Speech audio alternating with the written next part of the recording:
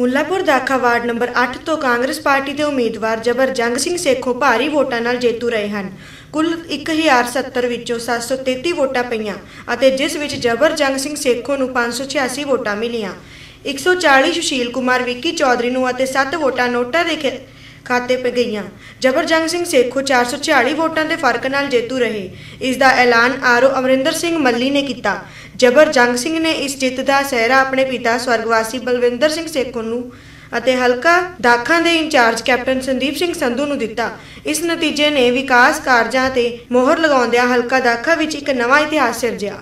ਇਹਦੀ ਸ਼੍ਰੇ ਸਾਰੇ ਹੀ ਸਾਡੇ ਮੁੱਖ ਸਲਾਹਕਾਰ OSD captain Amarinder Singh ji, Punjab captain Sandeep Singh Sandhu ji ਨੂੰ ਜਾਂਦਾ ਹੈ ਜੀ ਉਹਨਾਂ ਨੇ ਜ- ਇੱਕ ਸਾਲ ਤੋਂ ਜੋ ਹਲਕੇ ਦੇ ਵਿੱਚ ਵਿਕਾਸ ਕਰਾਏ ਨੇ ਉਹਨਾਂ ਦੀ ਜੋ ਸਾਡੀ ਪਿੱਠ ਦੇ ਉੱਤੇ ਥਾਪੜਾ ਹੈ ਜੀ ਤੇ ਉਹਨਾਂ ਦਾ ਜੋ ਆਸਰਾ ਸਾਡੇ ਸਿਰ ਦੇ ਉੱਤੇ ਹੈ ਉਹਨਾਂ ਦੇ ਕਰਕੇ ਜੀ ਇਹ ਸਾਡੀ ਜਿੱਤ ਹਾਸਲ ਹੋਈ ਹੈ। ਉਹਨਾਂ ਦੇ ਆਉਣ ਤੋਂ ਬਾਅਦ ਹੀ 20 20 25 25 ਸਾਲ ਦੇ ਜੋ ਕੰਮ ਪੈਂਡਿੰਗ ਸੀਗੇ ਜੀ ਉਹ ਨਿਰਵਿਘਨ ਪੂਰੇ ਹੋ ਰਹੇ ਨੇ ਕੀ ਹੋਰ ਇਹੋ ਜਿਹੇ ਕੰਮ ਆ ਜਿਨ੍ਹਾਂ ਦੀ ਖਾਤਰ ਤੁਹਾਨੂੰ ਲੱਗਦਾ ਵੀ ਕੰਮ ਕਰਨ ਦੀ ਲੋੜ ਆ ਅਧੂਰੇ ਪਏ ਆ?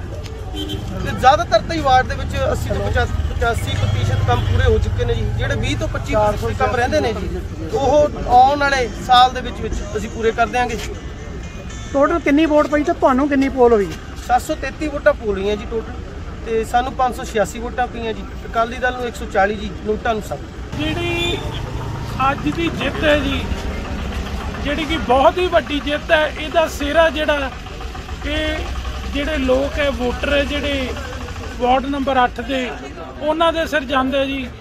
ਸਾਡੇ ਮੁੱਖ ਮੰਤਰੀ ਕੈਪਟਨ ਅਮਰਿੰਦਰ ਸਿੰਘ ਜੀ ਸਿਰ ਜਾਂਦਾ ਹੈ ਤੇ ਕੈਪਟਨ ਸੰਦੀਪ ਸੰਧੂ ਜੀ ਸਿਰ ਜਾਂਦਾ ਜਿਨ੍ਹਾਂ ਨੇ ਸੇਖੋਂ ਪਰਿਵਾਰ ਦੀ ਜਿਹੜੀ ਅਗਲੀ ਜਨਰੇਸ਼ਨ ਹੈ ਜਬਰ ਨੂੰ ਟਿਕਟ ਦੇ ਕੇ ਟਿਕਟ ਨਾਲ ਨਵਾਜਿਆ ਤੇ ਤੋਂ ਬਾਅਦ ਸਾਰਿਆਂ ਦੀ ਐਜ਼ ਅ ਟੀਮ ਜਿਹੜੀ ਮਿਹਨਤ ਸੀ, ਉਹਦਾ ਇਹ ਨਤੀਜਾ ਸੀਗਾ ਵੀ ਅਕਾਲੀ ਦਲ ਨੂੰ ਬਹੁਤ ਹੀ ਬੁਰੀ ਹਾਰ ਦਾ ਜਿਹੜਾ ਸਾਹਮਣਾ ਕਰਨਾ ਪਿਆ ਤੇ ਇੱਕ ਪਾਸੜ ਜਿਹੜੀ ਇਹ ਫਾਈਟ ਸੀ ਉਹਦੇ ਚ 400 450 ਤੋਂ ਵੱਧ ਵੋਟਾਂ ਨਾਲ 750 ਦੇ ਕਰੀਬ ਵੋਟ ਪੋਲ ਹੋਈ ਤੇ 450 ਤੋਂ ਵੱਧ ਵੋਟਾਂ ਦੀ ਲੀਡ ਆਈ। ਤੁਸੀਂ ਆਪ ਹੀ ਦੇਖ ਸਕਦੇ ਹੋ ਵੀ ਲੋਕਾਂ ਦਾ ਫਤਵਾ ਕੀ ਸੀ। ਤੇ ਇਹ ਜਿਹੜੀਆਂ ਚੋਣਾਂ ਹੋਈਆਂ, ਮੈਨੂੰ ਨਹੀਂ ਪਤਾ ਵੀ ਹੁਣ ਵਿਰੋਧੀ ਧਿਰ ਵਾਲੇ ਜਾਂ ਸਾਡੇ ਐਮਐਲਏ ਸਾਹਿਬ ਕੀ ਬਹਾਨਾ ਲਾਉਣਗੇ, ਪਰ ਇਹ ਜਿਹੜੀ ਜਿੱਤ ਸੀ, ਇਹ ਇਹਦੇ ਚ ਪੂਰੇ ਅਮਨ ਅਮਾਨ ਨਾਲ ਜਿਹੜੀ VOTING ਹੋਈ ਤੇ ਕਿਤੇ ਵੀ ਕੋਈ ਧੱਕਾ ਨਹੀਂ ਕੀਤਾ ਗਿਆ। ਜਿਹੜਾ ਕਿ ਮੈਨੂੰ ਲੱਗਦਾ, ਹੁਣ ਮੈਨੂੰ ਨਹੀਂ ਪਤਾ ਇਹ ਬਹਾਨਾ ਕੀ ਲਾਉਣਗੇ, ਪਰ ਇੱਕ ਸਪੋਰਟਸਮੈਨ ਸਪਿਰਿਟ ਨਾਲ ਜਿਹੜੀ ਹਾਰ ਹੈ, ਉਹ ਸਵੀਕਾਰਨੀ ਚਾਹੀਦੀ ਮੌਜੂਦਾ ਹਾਲਾਤਾਂ ਤੇ ਨਜ਼ਰ ਮਾਰੀਏ ਤਾਂ ਇਨਸਾਨ ਤਰ੍ਹਾਂ-ਤਰ੍ਹਾਂ ਦੀਆਂ ਬਿਮਾਰੀਆਂ ਨਾਲ ਜੂਝ ਰਿਹਾ ਹੈ।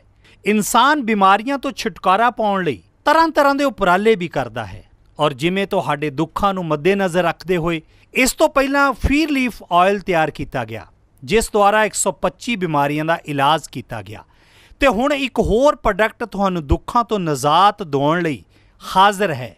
ਫੀਰ ਲੀਫ ਪਾਵਰ ਜਿਸ ਦੇ ਨਾਲ ਤਰ੍ਹਾਂ-ਤਰ੍ਹਾਂ ਦੀਆਂ ਕਮਜ਼ੋਰੀਆਂ ਨੂੰ ਦੂਰ ਕੀਤਾ ਜਾ ਸਕਦਾ ਹੈ। ਜਿਵੇਂ ਮਰਦਾਨਾ ਕਮਜ਼ੋਰੀ, ਅੰਤਰੀਆਂ ਦੀ ਸੋਜਿਸ਼, ਪਿਸ਼ਾਬ ਵਿੱਚ ਜਲਣ, ਦਿਲ ਦੀ ਕਮਜ਼ੋਰੀ, ਖੂਨ ਦੀ ਕਮੀ ਅਤੇ ਦਿਮਾਗ ਨੂੰ ਤੇਜ਼ ਕਰਦਾ ਹੈ। ਅਲੱਗ-ਅਲੱਗ ਲੈਬੋਰਟਰੀਆਂ ਤੋਂ ਆਯੁਰਵੈਦਿਕ ਮਾਹਰਾਂ ਦੁਆਰਾ ਟੈਸਟ ਹੋ ਕੇ ਆਪ ਸਭ ਦੇ ਰੂਬਰੂ ਹੈ। ਔਰ ਜਿਸ ਦੇ ਵਿੱਚ ਕਈ ਤਰ੍ਹਾਂ ਦੀਆਂ ਆਯੁਰਵੈਦਿਕ ਜੜੀਆਂ ਬੂਟੀਆਂ ਅਤੇ ਕਈ ਤਰ੍ਹਾਂ ਦੇ ਪਸਮ ਮਿਲਾ ਕੇ ਤਿਆਰ ਕੀਤਾ ਗਿਆ ਹੈ। ਉਹ ਨੌਜਵਾਨਾਂ ਲਈ ਬੜਾ ਵਰਦਾਨ ਸਿੱਧ ਹੋ ਰਿਹਾ ਹੈ, ਜੋ ਨੌਜਵਾਨ ਮਰਦਾਨਾ ਕਮਜ਼ੋਰੀ ਨਾਲ ਜੂਝ ਰਹੇ ਨੇ। ਉਹ ਹੁਣ ਫੀ ਰਿਲੀਫ ਪਾਵਰ ਦਾ ਇਸਤੇਮਾਲ ਕਰਨ ਤੋਂ ਬਾਅਦ ਦੁਬਾਰਾ ਖੋਈ ਹੋਈ ਮਰਦਾਨਾ ਤਾਕਤ ਨੂੰ ਹਾਸਲ ਕਰ ਸਕਦੇ ਨੇ। ਇਹ ਮੈਡੀਸਨ 100% ਆਯੁਰਵੈਦਿਕ ਹੈ, ਇਸ ਦਾ ਕੋਈ ਵੀ ਸਾਈਡ ਇਫੈਕਟ ਨਹੀਂ ਹੈ। ਤੁਸੀਂ ਵਧੇਰੇ ਜਾਣਕਾਰੀ ਲਈ ਸੰਪਰਕ ਕਰ ਸਕਦੇ ਹੋ। 94784 84087